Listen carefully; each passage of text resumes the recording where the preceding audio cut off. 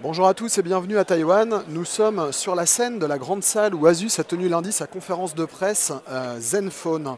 Euh, c'est là que la marque a présenté en préambule du Computex qui ouvre officiellement demain la famille Zenfone 3 et on, vous propose d'aller euh, la découvrir dans, des, on va dire dans les conditions du direct puisque comme vous voyez euh, je suis tout seul, il n'y a pas de caméraman. Euh, j'utilise mon téléphone et un gimbal, un stabilisateur à main. Euh, c'est la première fois qu'on tente une couverture de salon de cette façon. le rendu sera certainement moins professionnel que ce qu'on peut faire d'habitude, mais j'espère que le côté un peu coulisses et vécu de l'événement compensera la chose. Après cette petite intro, alors la gamme Zenfone 3, donc c'est la troisième génération des smartphones euh, des smartphones Asus. Euh, elle a été présentée ici, elle est déclinée en trois modèles qu'on va aller voir tout de suite. Le Zenfone 3 standard, euh, qui va vraiment être un smartphone qui mise sur le, rapport qualité-prix avec le prix le plus juste. Et puis deux modèles sans doute un peu, plus, un peu plus ambitieux et un peu plus inattendus, qui sont les Zenfone 3 Deluxe et Zenfone 3 Ultra. Mais commençons par le commencement. Voilà, ce qu'on aperçoit ici, c'est le Zenfone 3, on va dire le modèle standard, euh, qui est donc un smartphone. Le, design, très honnêtement, nous rappelle euh, beaucoup de modèles concurrents, euh, qui soient signés Apple ou qu'ils soient fournis par d'autres marques. On est, vraiment, on est vraiment en terrain conquis avec donc quelque chose qui est décliné en plusieurs coloris. On a un verre Gorilla Glass 4 devant et derrière. Et puis on retrouve, je pense que ceux qui connaissent la gamme Zenfone seront vraiment vraiment en terrain connu. On retrouve le capteur d'empreinte digitale derrière, on retrouve la couche photo euh, Pixel Master. Et on a ici une configuration avec un. Donc on est sur un Snapdragon 625, euh, accompagné de 2, 3 ou 4 Go de mémoire vive selon les options. Au dos, on a un capteur photo 16 euh, mégapixels avec, donc, comme je le disais, la couche Pixel Master qui passe en, qui passe en version 3. Et on a un écran, donc on est sur un format 5,5 pouces euh, un écran qui est Full HD, qui est à dalle évidemment IPS avec une luminosité donnée pour 500 nits. On est sur un modèle qui va être décliné en, emplacement double carte SIM. Et voilà, donc il sera, je pense, que vraiment le, fer de lance de, l'offre grand public d'Asus, particulièrement, sur le, particulièrement sur le marché français et sur les marchés européens. Vous voyez là, c'est vraiment c'est la couche photo qui est mise en avant.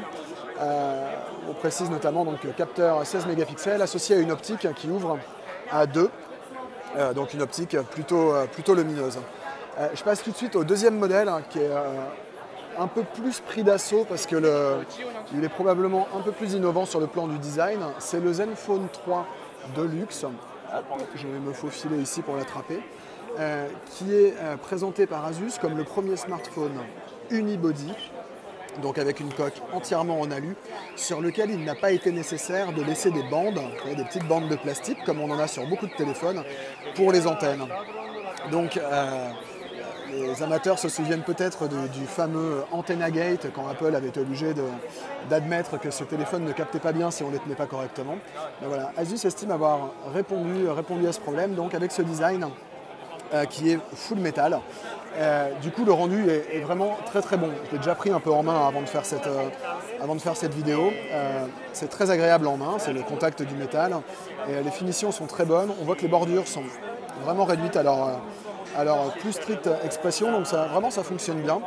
Et là, on est sur un positionnement en plus qui est beaucoup plus haut de gamme, puisqu'on est sur un Snapdragon 820, avec la possibilité de monter jusqu'à 6 Go de mémoire vive, alors que d'habitude, on se cantonne plutôt à 4.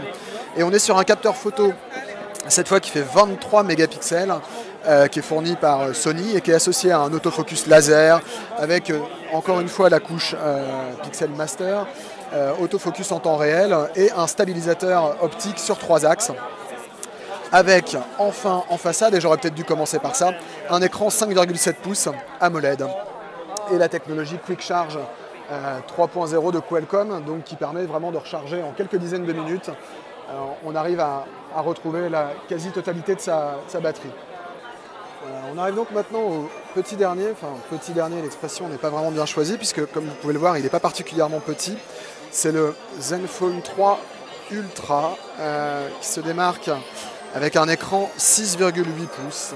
Donc on est vraiment sur un format tablette, voire tablette, et qui reprend le design du, modèle qu'on vient de voir juste avant là, donc avec ce corps unibody tout en métal, un peu plus épais évidemment, parce qu'il faut garantir en fait la solidité du téléphone. trop fin, il aurait tendance à se plier dans les poches.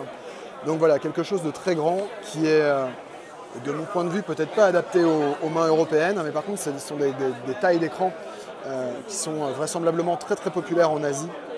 On voit beaucoup de, smartphones à grands écrans ici. Euh, et donc c'est le pari pris par Asus. Donc là on est sur une configuration qui est un peu différente de celle du Deluxe. On est moins bien doté sur le plan du processeur parce qu'on est sur un, Qualcomm S652, enfin Snapdragon 652, avec 4 Go de mémoire vive.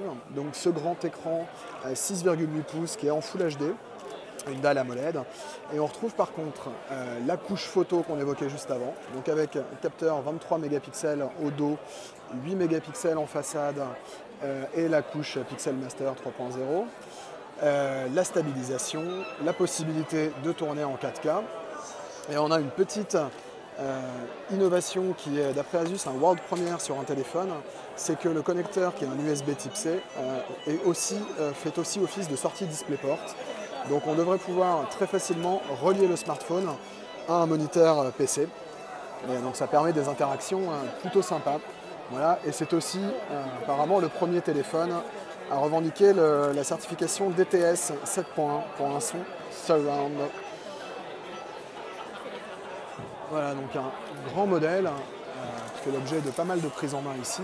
date de sortie, enfin date de disponibilité et prix exact n'ont pas encore été précisés.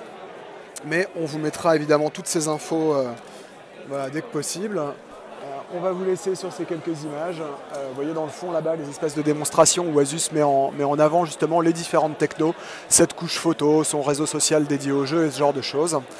Et puis nous on va aller continuer notre découverte des autres nouveautés qui ont été annoncées ici. Salut, à bientôt